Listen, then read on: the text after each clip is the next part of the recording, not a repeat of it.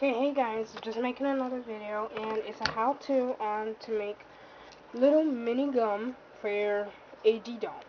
And this is five gum, and it's really cool because it's you can put it in their bag, and it's like real gum for them. I love this gum, so all you have to do is go to Google Images and search up gum pics or gum pictures, and they have a whole selection of gum. So I picked this type of gum so you print it out and I cut it out and you get a type of thick cardboard like this thick box thick. You do not want the flimsy type like um, this type of flimsy like from you, you get notebooks.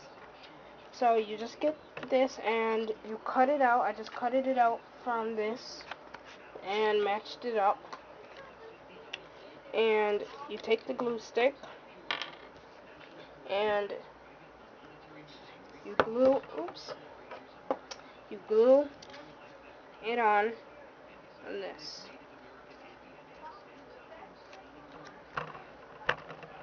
Okay.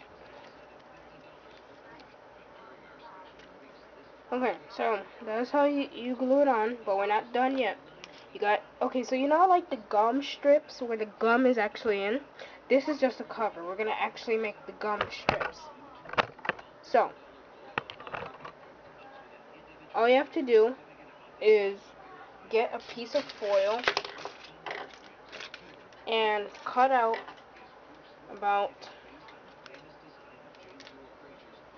a thick piece, like this thick and get it and you know I'll just cut it out. Alright. Alright. So you get it and then you fold a tiny pinch over fold the other pinch over so you get two sides that can actually open it's your choice if you want to put paper or something in there to make it look more realistic. But I'm just doing this. And then you fold the ends over. Like that. Okay? And that's your gum strip. So then you get, you turn over the gum, and then you get well, you can make three. I three is the most, or you can make more.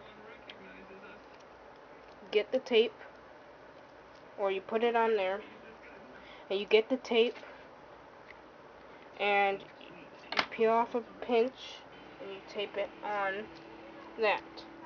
So how you do that? Get a piece of tape, and you tape it on. That's like the inside of it. You can make it more realistic, like the color, but getting markers and just color the thing so it looks like the color. So this is orange, so you would get the color orange marker and, or Sharpie and color it. But that's on you if you want to make it look more re realistic.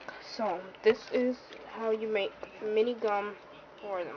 It's really convenient and kind of cool. So you can chew the real gum and have them have the mini gum. So I hope you guys like that. In my other videos, I'll be showing you how to make mini candy bars. Alright, bye.